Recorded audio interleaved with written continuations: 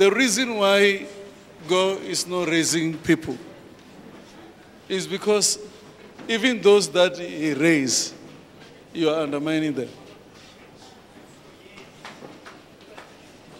I wanted to tell those brothers the reason why God will never raise you is because when God raises people and He brings them to you, you undermine them.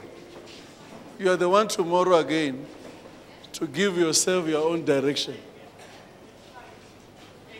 God wants stupid people.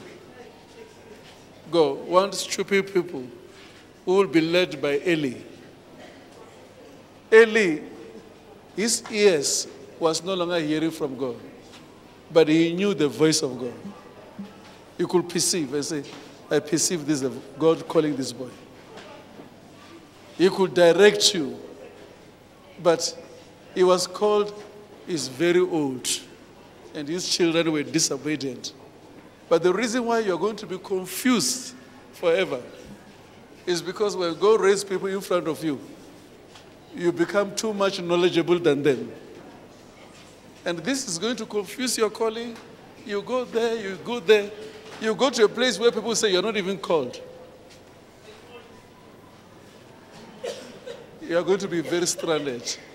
So I'm just trying to tell you. So if now, I'm not saying respect me or any pastor. The Bible says, you see, the, the harvest has come. Eh? Can you see the harvest? You must pray for those who are going to harvest. Pray. So now, look here. You know there are people here. You pray for them before you pray for your own self. So your problem is now, you are lifting yourself. And what God must do now? If He can lift you, you kill many. If He can just lift you, you are going to kill many. You have a, you have a demon. Come on. So that is why you see in Charis here, God want to raise people. When you want to raise people like this, but the problem is the one that he has raised, he undermined them. So how can they be given a double portion?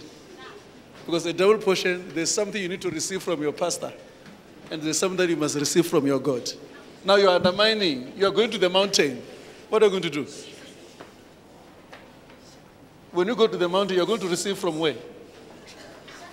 The Book on a Life of a Victorious Christian, Volume 1 by Apostle J.B. Makananisa is now available at bookstores and online at Amazon, Barnes & Noble, Booktopia, Outskirts Press. Get your copy now and your life will never remain the same. Shalom.